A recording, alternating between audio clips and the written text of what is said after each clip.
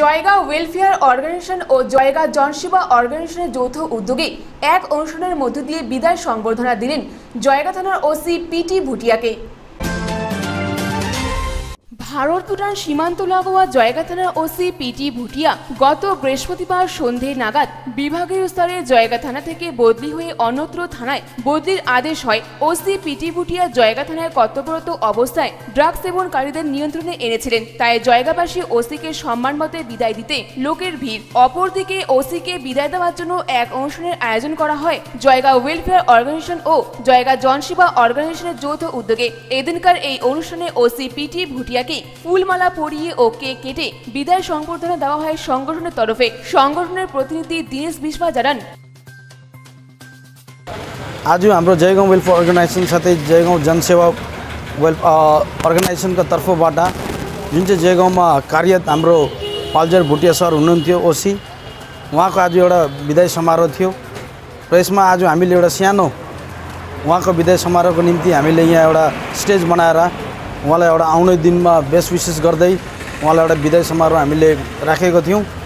र दुःख लाग्दो कुरा के भयो भने आज उहाँले जति पनि जयगाउँमा यसमा अहिले राम्रो काम गर्नु हुँदै थियो त्यसमा धेरै ड्रग्सको लतमा पढ्नेहरू पनि अलिकति सुधार आउँदै थियो र जयगाउँमा जति पनि अनवान्टेड एलिमेन्ट्स भरेको यहाँ जग्गा थियो यो जग्गालाई उहाँले सुधार्ने कोसिस गरेको थियो ड्रग्स फ्री जोन गर्नु कोसिस गरेको थियो। तर उहाँको यो अधुरा पल भएको छ तर केही छैन। आउँदो दिनमा उहाँले फेरि रिटर्न आएर यो कुरालाई जयगाउँलाई ड्रग्स फ्री बनाउँछु भन्ने उहाँले एउटा कुरा राख्नु भएको छ। र उहाँलाई हामी जति पनि जयगाउँमा भएको संस्था विशेष गरी हाम्रो मङ्गलाबारे जयगाउँ यो सबै संस्थाहरूले मिलेर उहाँलाई एउटा यो समारोहबाट बिदाई दिएको छ। र उहाँलाई हामी आशा गर्छौँ कि उहाँ जहाँ पनि गए पनि उहाँले एउटा राम्रो काम गरेर ड्रग्सको विषय लिएर र जति पनि यो बङ्गालमा भइरहेको अन अनवान्टेड एलिमेन्ट्सहरू छ। त्यसलाई दूर गर्ने प्रयास गरोस् र उहाँलाई हामी तनमन धनबाट बेस्ट विशेष गर्नु चाहन्छौँ। र आउने जुनै पनि अब हाम्रो यहाँ जयगाउँमा आउने एउटा बडाबाउ आउनु हुँदैछ उहाँलाई पनि हामी आशा गर्छौँ कि उहाँले पनि जयगाउँलाई ड्रग्स फ्री जोन बनाउने उहाँले कोसिस गरोस् र हामी जति पनि संस्थाहरू छौँ उहाँले हामीले उहाँलाई भरपूर सपोर्ट गर्नेछ। त्यो भन्दै म आफ्नो वक्तव्य समाप्त गर्दैछु। जयगा थाना ओसी पिटी भुटिया जनन।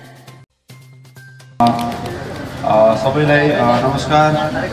यो कार्यक्रम राख्ने उपलक्ष्यमा सबैलाई धन्यवाद जनाउँदै। बेसी केही पनि छैन पुलिसको नियम हो यो ट्रान्सफरको। आज दुई वर्ष बसेर नगएर पनि एक वर्ष कम्प्लिटली सक्सेसफुली चलाएर म जाँदैछु। दसजना मान्छेलाई म खुसी राख्न नसक्ने होला आठजनालाई राखेको छु यो पुलिसको एउटा नियम हो। त्यसमा म जाँदाखेरि कतिजना खुसी हुन्छ कतिजना दुःखी हुन्छ।